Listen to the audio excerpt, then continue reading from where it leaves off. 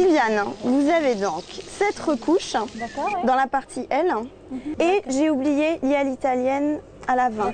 Donc euh, on va voir ensemble. Oui Catherine Gouvernante, il n'y a pas une journée qui se ressemble, ça bouge, ça change tout le temps. Notre métier, c'est de l'imprévu et c'est ça qui est génial parce qu'on arrive le matin, on a tout qui nous tombe dessus et puis il faut le gérer.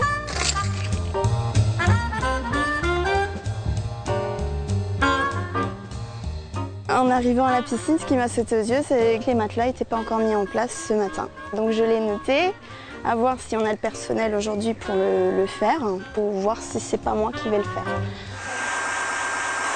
Adelaida, what have you already cleaned À 105. Gouvernante, ça existe aussi dans les hôpitaux. Mais je veux dire, euh, tout est calculé, tout est planifié. Ça bouge pas, alors que dans les hôtels, il y a des imprévus, il y a des gens qui arrivent à la dernière minute, il y a des no-shows, c'est-à-dire des gens qui ne sont pas venus. C'est excitant. C'est un métier, euh, ça vous renforce le caractère, ça... On devient plus dur. C'est pas un métier de femme, je pense que c'est ouvert à tout le monde. Je pense que l'homme aura un petit peu plus de succès auprès des femmes de chambre.